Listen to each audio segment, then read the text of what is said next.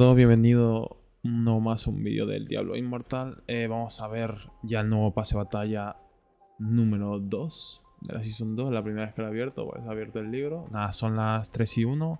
Pasó un minuto. Vamos a mirar si vale la pena. Vamos a darle un vistazo rápido. Bueno, ya aquí nos regalan una skin que a ver cómo se ve. Sinceramente, bueno. Mm, está bien y ya está. La gema, que es muy importante, la verdad. Pero que gema. La escoria para interfacio. vamos a ver lo del pago, ¿no? Eh, trae una normal, trae gemas normales. Bueno, es una. Las son esto, importante la gema, pero bueno, es de, estrella. Tres, eh, tres para, bueno, para la llave del... Lo que son los cofres. Blasón legendario que está muy bien. Aquí te da una, una legendaria. Otros seis llaves. Para mí es una estupidez realmente porque ni siquiera se nota. Eh, llaves, una gema, una estrella. Vuelve llave, gema. Blasón legendario que está muy bien ya.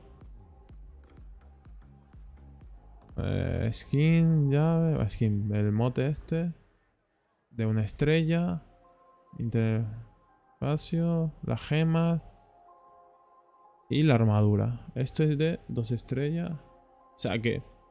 Ahora vamos a mirar. No está, no está nada mal esta, ¿eh? La armadura sí que me gusta más que la propia. A ver, es una skin que al final la vas a necesitar. O sea, uy, he abierto otra vez. La vas a necesitar, o sea, vale creo que... 5, euros. Mm, mi recomendación rápida es que sí, sí que vale la pena y, poco más. O sea, no, hay que darle más vuelta. Este trae las gemas, que ya de por sí los blasones legendarios. Más las escorias que al final necesitas para subir el interfacio. Las llaves más o menos, que tampoco las necesitas porque vas a tener siempre sobra para abrir al menos las 5 primeras, las 4. Que son hasta 10 y ya está. Para mí sí, sí vale la pena y ya está. No, no hay mucho más. Simplemente también para enseñaros lo que iba a traer y demás. Espero que os haya servido.